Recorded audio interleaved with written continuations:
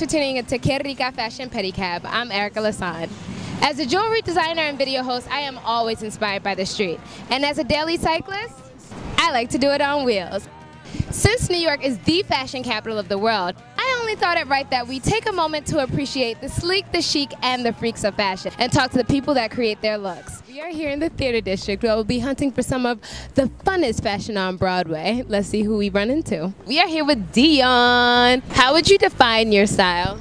This is normally like low key for me. I normally like to be like like over the top, like flashy sometimes. Like it, I like to play around, like going to different time periods and stuff like that, like throwing on different colors and mixing patterns. Deon, tell us a little bit about your outfit. Would you mind telling us where you got each of your pieces?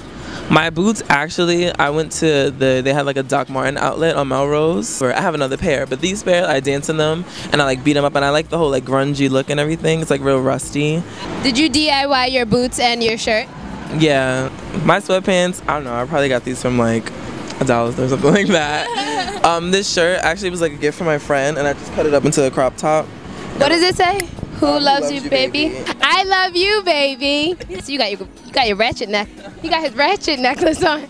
I, that doesn't make you ratchet though. Just being playful and stuff like that. I work in Love Culture in the mall. It's like a, a cute little store. It's like a Forever 21 kind of feel, but they have like a lot of cute accessories and stuff like that. I got this up from a thrift store, and um, this box sale I got from on in Soho. Cute stuff, cute stuff. How long have you been dancing? Um, I've been dancing like on and off like since I was little. When I got to high school, like my freshman year of high school, I really took it seriously. Like I stopped running track and then I started dancing. No, what exactly are you training for? Like ultimate situation? Um, my ultimate situation is that I want to be, you know, like you know, basically just a star on Broadway. Like that's just a dream. Like I want to be a performer. Oh, I just want to star on Broadway. no biggie. Guys, you, you know what I'm gonna ask them. You gotta bust a tune.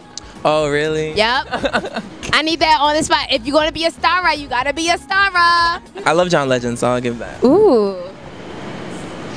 Baby, since the day you came into my life, you made me realize that we were born to fly. Let's go to a place only lovers go, to a spot that they'll never know. On top of the clouds, we're floating away. Yeah. oh, this love is crazy. Well, Deon, you got it, you got it, and I love it, I love it. Thanks for watching. Don't forget to subscribe, comment, and share. Until the next time, stay fly and live rich today is just pretty much like today it's pretty much. We're stuck in a bubble. All right. Ready?